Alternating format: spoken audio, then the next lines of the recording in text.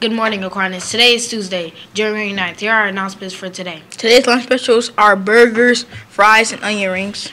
Today's National Turtle Adoption Day. Friday's riddle What kind of crystals don't break when they hit the ground? Answer Snow, because they are ice crystals. Riddle of the day. You can hold me and even shake me, but it's easy to break me. I have lots of snow, but it's all fake. What am I? Tune in after midterm for the answer.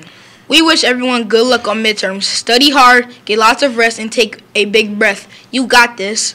Please send in photos and or videos for Friday highlights to Miss King at 8kig at AquinasInstitute.com. If you have any announcements you want read live, email Morning Update at morningupdate at AquinasInstitute.com. We will be back after midterms. Have a great day, Aquinas.